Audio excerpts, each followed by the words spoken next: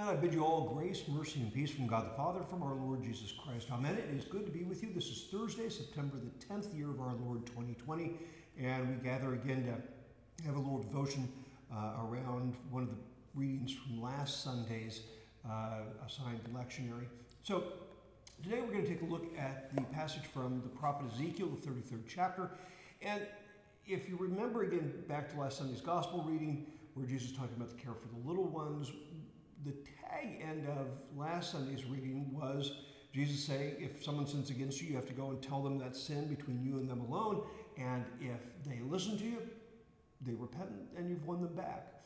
And the whole point there is not about congregational discipline as such. It's not, you know, here's the steps you have to follow in order to be able to tell someone to shove off, but rather here's all the things you need to do to hold on to one of the little ones that Christ has redeemed because we understand that unrepentant sin is a faith killer, right? If we have a sin that we keep on justifying, that we refuse to confess, that we refuse to acknowledge, it is going to erode at faith. It's going to be a, uh, a, a block that cuts us off from the grace and mercy and love of God because, again, it gives us a bad conscience, right? You know, if I know that I have this sin in me and it is cutting me off from God, I also know God's not pleased with me and it tends to make me a little bit shy around God. So the whole point then of calling people to repentance is not about, oh, you bad person, now you better shape up and, and, and fly right, but rather it's the, you're dearly loved of God, there is this great life, this gift that is for you, come back into the light and, and don't dwell in the shadowlands. So one or two others, uh, if they don't listen to you, and then if they won't listen to one or two others, you go to the whole congregation. Again, the point of the whole congregation is not you're an awful person, but we don't want to lose you repent and come back. And so, with that in mind, then the Old Testament reading is about uh, Ezekiel and his call to be a watchman for Israel and to speak the word that the Lord gives him. So, we'll read from uh, Ezekiel 33, verses 7 through 9. It's kind of short reading, so we won't have a, a super long devotion today. Um, and I'll have a couple of words to share with you. So, this is Ezekiel 33, starting at verse 7. So you, son of man, I've made you a watchman for the house of Israel. Therefore you shall hear a word from my mouth and shall warn them for me. When I say to the wicked, O wicked man, you shall surely die, and you do not speak to warn the wicked from his way, that wicked man shall die in his iniquity, but his blood I will require at your hand.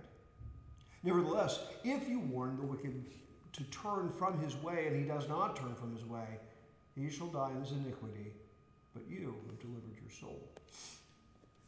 Now, so obviously there's the vibe about going and telling the wicked, knock it off and, and, and turn around and get back with God. I, I, think the other thing here is obviously Ezekiel's office as a watchman is unique. It's not the same as the uh, rest of us occupy. Uh, this verse oftentimes gets read at, at ordinations, reminding us that in the pastoral office, one of the functions that pastors serve is as a watchman to the congregation, where God's word, written down in Scripture, is a, a, kind of marching order given to pastors where they have to let the congregation know look, this is what God said, this is what God wants. Knock off doing what God tells you not to do. And if the pastor doesn't discharge his duty to speak that word forthrightly and boldly and to warn the wicked from their way, then he's really defective in the office. And there is an accounting for that. But of course, Jesus' mercy covers everything. So we're all repentant sinners. We're all kind of in the same boat on that uh, account. Now, one of the things that's interesting is that in the prophet Ezekiel, God constantly refers to Ezekiel as, as son of man. And in the Hebrew, it's actually son of Adam, Adam is the, the generic word for a human being, but it's also obviously the name of the first human being that God created. And I think that reminder that we are all children of Adam, children of Eve, is, is a reminder that we come from kind of a broken stock. We're all uh, come from a, a, humanity that was broken by the sin of Adam and Eve. And so there's a certain sense in which there's none of us who's higher or lower than another. We're all kind of in the same boat needing to repent. We're all in the same boat finding that we are sinful. We are all in the same boat finding that there is kind of a, a corruption in our hearts that turns us away from the way of God. So the whole message that Ezekiel is giving then is not, I'm a righteous prophet and you all are bad people, but it's, I'm one sinner talking to other sinners. And in the same way that I repent of my sin, you, you need to repent of yours, O Son of Man. And then always says, you know, I give you to Israel as a watchman. So it, it's not um, that Ezekiel took the office to himself, and it's not that the office was created by uh, community resolution. Rather, Yahweh's gracious gift to his people is one who will speak his word. Um, now, sometimes those words aren't words that we want to hear, uh, and there's the temptation in our old nature inherited from Adam to cover our ears and go, la, la, la, la, I don't hear what you're saying.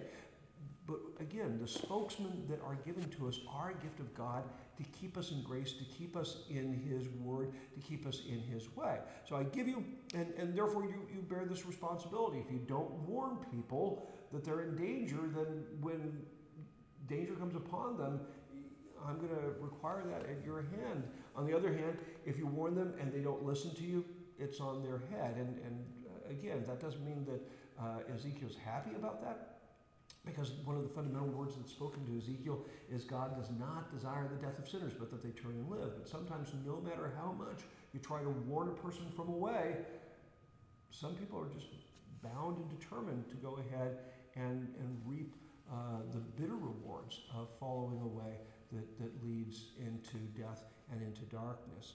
Um, so, the last thing to note here is uh, God says, When I speak a word to you, right, you become my spokesman.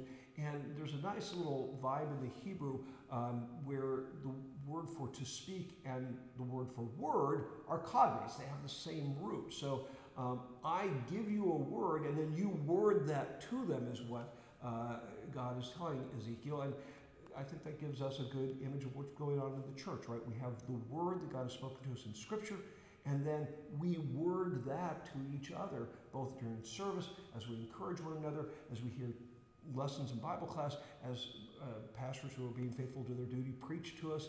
It is that word that is being handed on to us so that we can be shaped and molded into the fullness of the restored image that God has made for us in our Lord and Savior Jesus. All right, that's enough for today.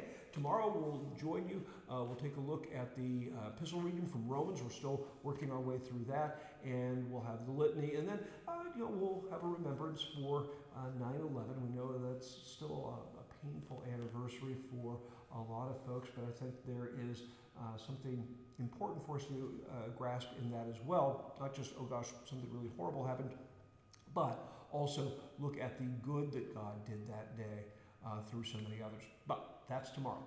Until then, peace be with you all.